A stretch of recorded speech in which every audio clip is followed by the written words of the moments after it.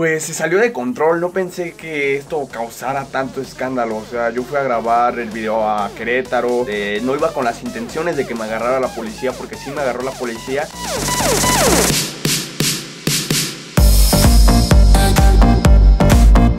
Amigos míos, les quiero regalar 300 pesos. Así como lo estás escuchando, les voy a regalar 300 pesos. Si quieres saber cómo, solamente quédate hasta el final de este video y esos 300 pesos mexicanos van a ser tuyos muy fácilmente. Hola amigos, ¿cómo están? Espero que estén súper bien de lo mejor el día de hoy porque el día de hoy es lunes y eso quiere decir que es el primer noticiero guacamolesco de la semana. Pongan a la señora del guacamole que si no luego me andan reclamando. Guacamole, guac, guacamole.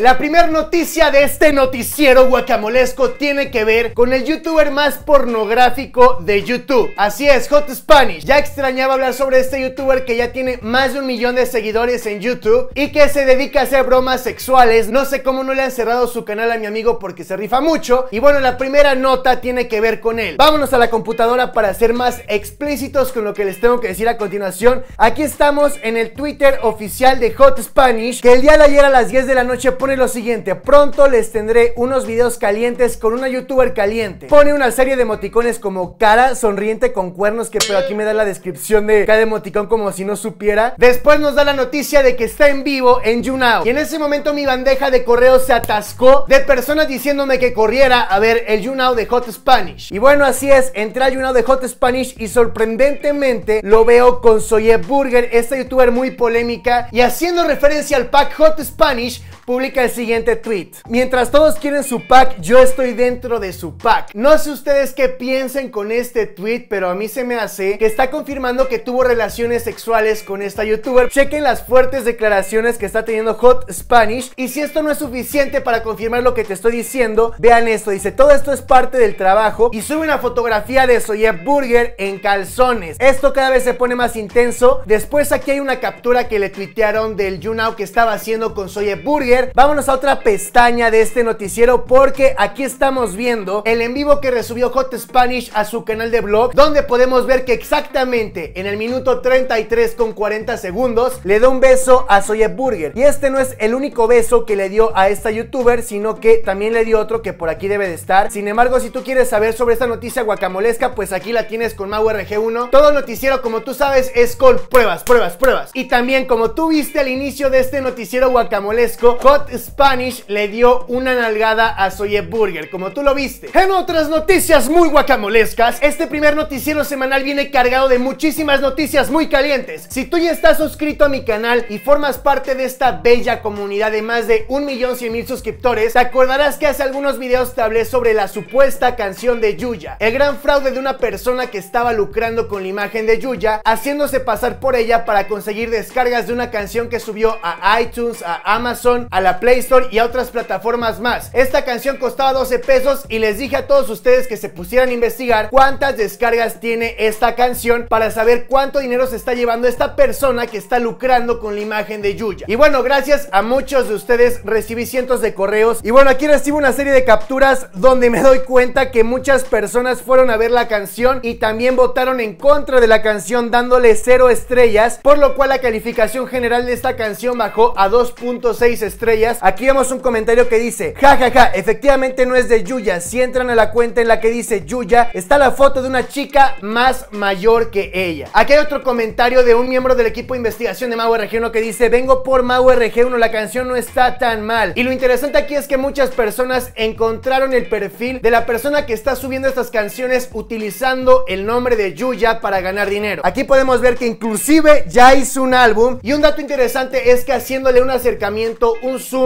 a la portada de esta persona, podemos ver que ni siquiera se tomó la molestia de poner la cara de Yuya. En otras noticias, seguramente ustedes recordarán que hace algunos días hablé sobre una broma que hizo el primo de Falcón y Reto Jorgeis, donde salía a asustar gente a las calles de Tuxtla Gutiérrez Chiapas vestido de payaso. Video que le trajo muchos problemas a Jorge, ya que el pueblo de Chiapas se armó y fue a lincharlo porque muchas páginas estaban publicando su dirección, sus fotos, de quién era la persona detrás de ese video. Y bueno, esta historia se repitió, nada más que esta ocasión en Querétaro y con otro youtuber también muy famoso. Su nombre es Dominic Vlog Show, seguramente tú ya lo conocerás. Y bueno, el día de ayer subí este video que se llama Broma pesada, payasos, asesinos termina en arresto policiaco. Y así fue, en vez de que las personas tomaran las armas y fueran a decir, no está bien que asustes a las personas, nos las vas a pagar, vamos a publicar tu dirección en redes sociales, vamos a ir a lincharte. Esta vez no hubo necesidad de que el pueblo se levantara en contra de este youtuber. Como ustedes saben, este güey vive en Celaya y si no lo sabías ahora lo sabes, así que se trasladó a la capital del estado de Querétaro, Santiago de Querétaro, donde se le ocurrió que era una muy buena idea vestirse de payaso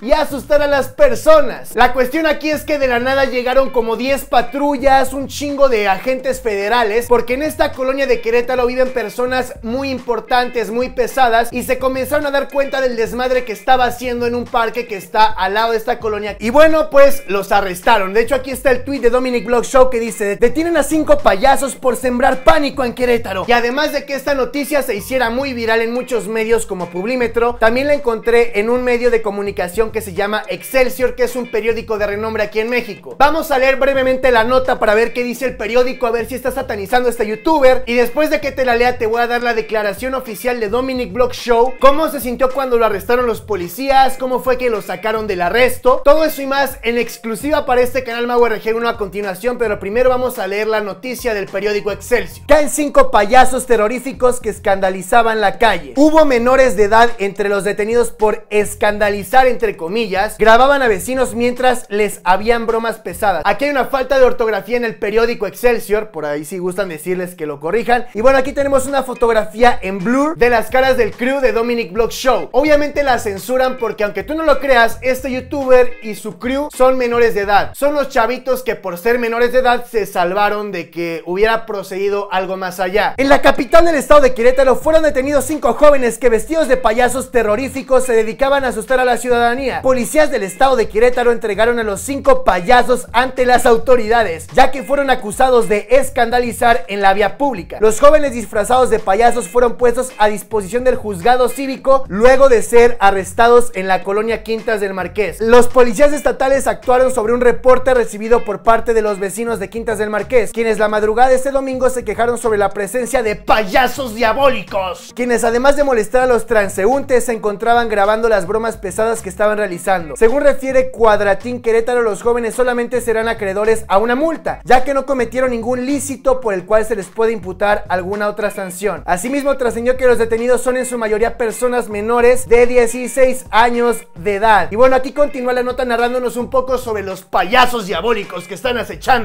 varios estados de México. Vamos contigo, Dominic.